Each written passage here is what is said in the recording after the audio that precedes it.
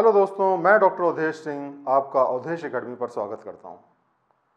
दोस्तों, आज के ज़माने में आप कई बार सुनते हैं कि आजकल अच्छाई का ज़माना नहीं है। इस ज़माने में जो अच्छे लोग होते हैं, उनको तरह तरह की दिक्कतों का सामना करना पड़ता है तरह तरह की तकलीफ़ों का सामना करना पड़ता है।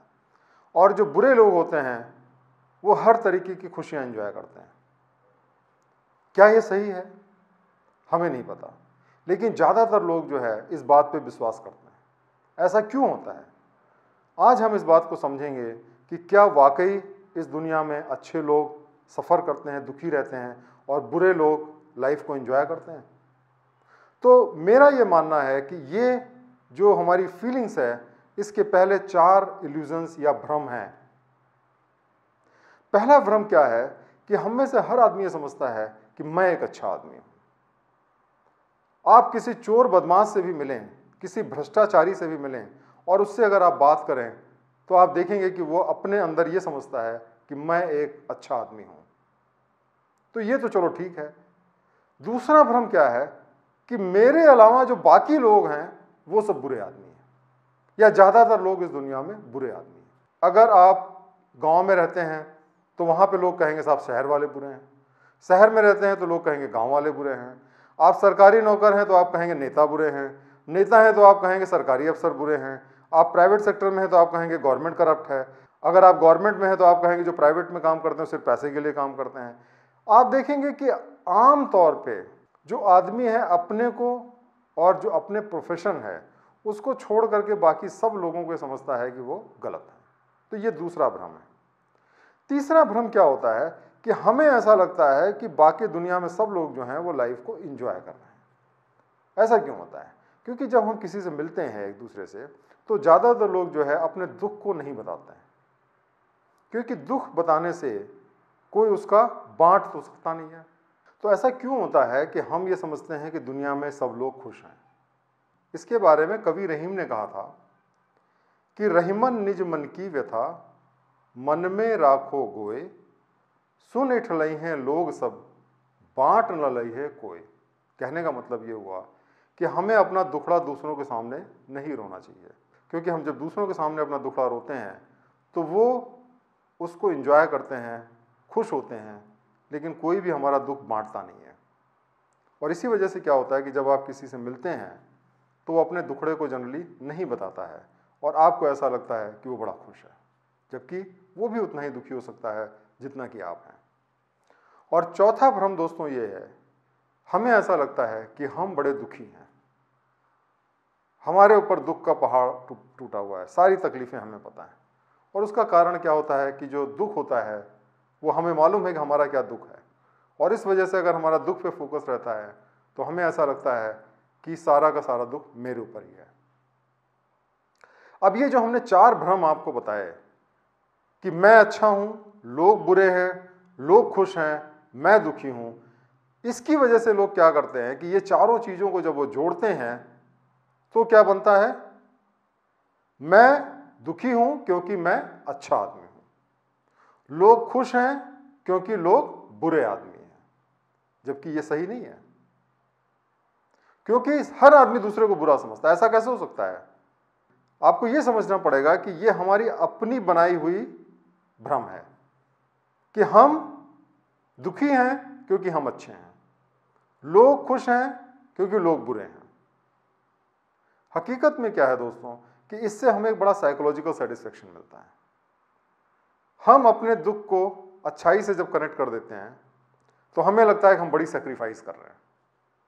और उसी तरीके से दूसरों की खुशियों को जब हम उनकी बुराइयों से कनेक्ट कर देते हैं तो हम ये सोचते हैं कि बुराई और खुशी साथ में है, इसलिए अगर हम दुखी हैं तो इसलिए क्योंकि हम बुरे नहीं हैं। और हम बुरे नहीं बनना चाहते, इसीलिए हमको ज़िंदगी में कभी सुख नहीं मिल सकता।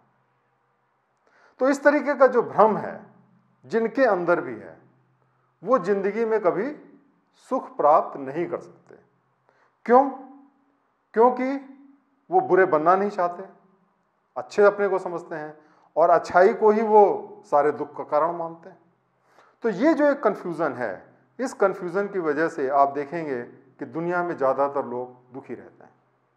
और इसी वजह से ये जो धारणा है, ये पूरे दुनिया में व्याप्त है। अब सवाल ये उठता है कि अगर ये मिथ है, एक गलत धारणा है तो सच्चाई क्या है? सच्चाई दोस्तों ये है कि दुनिया में हर आदमी को दुख है। ये गौतम बुद्ध ने सबसे पहला जो ज्ञान दिया था, वही है। ये जो बीमारी है ओल्ड एज है डेथ है, ये सबको आती है। जो भी इस दुनिया में है अच्छा है, बुरा है, छोटा है, बड़ा, हर को दुख है। इस दुख को हमें एक्सेप्ट करना चाहिए।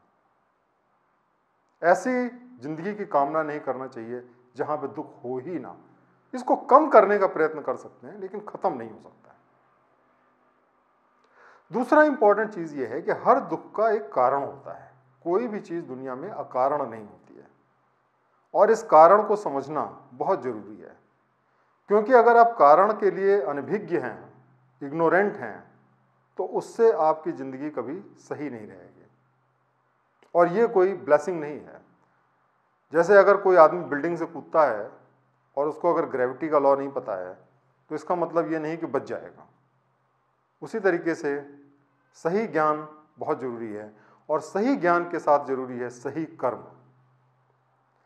अगर आप कोई एग्ज़ाम देते हैं और उसमें आप नकल नहीं करते हैं, कोई बुरा काम नहीं करते हैं, इसका मतलब ये नहीं कि आप टॉप कर जाएँगे। उसके लिए आपको पढ़ना पड़ेगा, ज्ञान अर्जित करना पड़ेगा।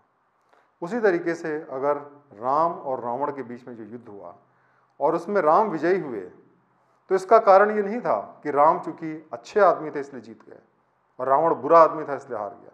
नहीं। उसका कारण ये था कि राम बेहतरीन योद्धा थे। और इस वजह से उन्होंने रावण को हराया। इसी तरह ज़िंदगी में जब आपको जीत हासिल करनी है तो आपके कर्म सही होने चाहिए, आपके अंदर काबिलियत होनी चाहिए। अगर आप हारते हैं तो इसका मतलब आपके अंदर कर्म नहीं करते आप, या आपके अंदर वो काबिलियत नहीं है। उसको अच्छाई और बुराई से जोड़ करके मत देखिए। और चौथी और इंपॉर्टेंट चीज़ ये है कि जो खुशी आपको सही कर्म करके मिलती है, वही असली खुशी है। और वो खुशी परमानेंट होती है, वो कभी ख़त्म नहीं होती। जो खुशी आप बुरे कर्मों से प्राप्त करते हैं, वो क्षण भंगुर होती है, थोड़े समय के लिए होती है, उसके बाद में वो खुशी खो जाती है।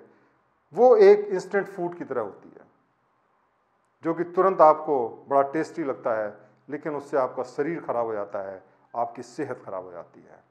तो इसलिए दोस्तों, ये भ्रम बिल्कुल ना पालें कि इस दुनिया में अच्छे लोगों का गुजारा नहीं है। या अच्छे कर्म करने वाले लोग दुखी रहते हैं और बुरे कर्म करने वाले लोग खुश रहते हैं। हकीकत यह है कि जो अच्छे कर्म करता है, वही सच्चा सुख का अनुभव कर पाता है। और अगर इस दुनिया में लोग सच्चे सुख का अनुभव नहीं कर पा रहे हैं तो इसका सबसे बड़ा कारण यह है कि वो अच्छे कर्म नहीं कर रहे हैं। अगर आप सच्चा सुख चाहते हैं तो अच्छे कर्म करिए, वही इसकी कुंजी है। बहुत बहुत धन्यवाद ये मेरा वीडियो देखने के लिए। आप अपना विचार व्यक्त करें और भी किसी टॉपिक पे अगर आप वीडियो देखना चाहते हैं तो हमें बताएँ। बहुत बहुत धन्यवाद।